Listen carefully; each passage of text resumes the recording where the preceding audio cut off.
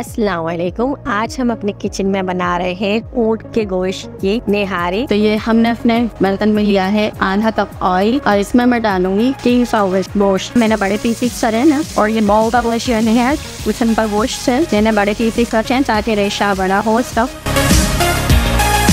अब इसको मैं डालेंगे दो टेबल स्पून घर के अदरक लहसुन सफ़ेद। इसको फ्राई करेंगे अच्छी तरह। अब मैं इसमें डालूँगी एक टीस्पून हल्दी पाउडर। एक टेबल स्पून धनिया पाउडर नमक तजबेगा इसमें लाल मिर्च नहीं यूज़ कर रही हूँ इसमें तिहारी का यूज़ करूँगी तो उसमें ऑलरेडी होती हैं आप चाहें तो इस स्टेज पे मिर्च भी ऐड कर सकते हैं और इसमें हाल मसाला ऐड करूँगी कोई से भी ब्रांड का लेना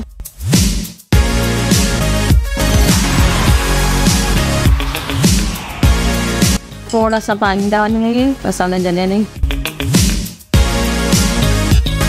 अच्छी तरह भूल लिया है। इस स्टेज पे इसका हम ऑयल रिमूव कर देंगे। ये देखा इस तरह से या हम एक अलग बर्तन में निकाल लेंगे।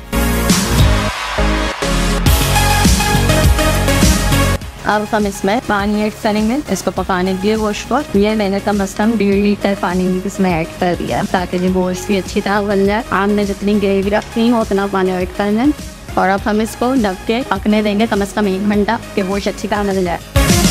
अच्छा यहाँ मैंने आधे कप आटे को एक गिलास पानी में धो लिया है। ये हम नहारी में ऐड करेंगे तो लगा गोश्त गल गया है। इसको पकते हुए दो घंटे हुआ है गोश्त गल चुका है। अब हम इसमें आटा ऐड करेंगे और साथ में चलाते ना हुए।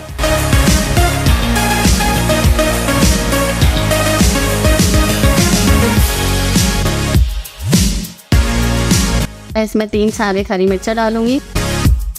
या मैं बना रही हूँ निहारी का बघार इसलिए मैंने ये वन फोर्थ कप ऑयल लिया है और इसमें मैं डाल रही हूँ ये आधी प्याज। और जब ये गोल्डन ब्राउन हो जाएगी तो हम उस पर निहारी का तड़का लगाएँ और हम इस पर बघार लगा देते हैं। ये हमने लगा दिया बघार और जो ऑयल हमने निकाला था वो भी अब हम इसमें ऐड कर देंगे।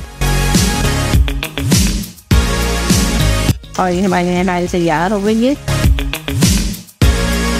ये मैंने पाँच मिनट दम पे रखा था और इसमें दो टेबल स्पून हरा धनिया डाला था और अब हम इसको डिश आउट बड़ी ही पीस निकाल गए डाल चुका है हमारा